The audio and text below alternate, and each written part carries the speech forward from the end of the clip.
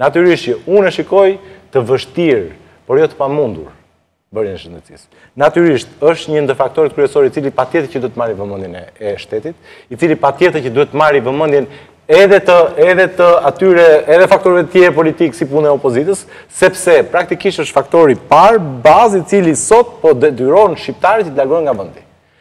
Sepse familjet e reja që po largohen nga vendi, profesionistët e rinj që po largohen nga vendi, largohen edhe sepse fëmijën e tyre ose do të duhet të shkunden nga xhepat për ta shëruar, ose nuk do ta shërojnë dot.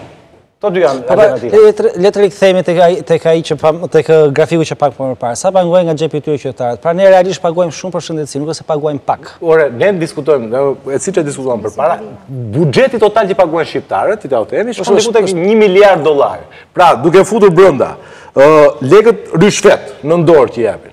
Blerjet e e e e me e medikamenteve e atyre mjeteve ndihmëse. Po. Mjete ndihmëse sepse janë Këtu në Shqipëri ndodh ti shkon në në spital. Shkon në spital me ilaçe, shkon me qese me vete pambuk. Thotë ai ik merr çik pambuk aty te farmacia. Ik merr fashat te farmacia, ik ble dhe shiringat, ik ble dhe dhe dhe dhe gjilpërën. Pra, Të gjitha këto lekë, duke përfshirë dhe lekët që jepen nën dorë mjekut, për të dalë edhe te fakti, pse detyrohet mjeku që të marrë lekë? Shtur!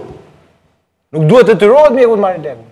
Po duhet ta paguash aq sa të mos marrë, mos ketë nevojë për të marrë lekë. Dhe nuk të kushton. Të kushton më tepër mos t'ia japësh ato lekë. Dhe ky është problemi që, që problemi tjetër që, që, që, që ka kjo çështje. Dhe të gjitha këto bashkë shkojnë një miliard dollarë. Pra ne, si shqiptarë, paguajmë edhe me udhëtimet jashtë shtetit, e me pagesat që bëjmë te privati, me pagesat që bëjmë jashtë shtetit, e me të gjitha këto shkon, na shkon një miliard dollarë buxheti për shëndetësinë. Pra kaq shumë na shkon.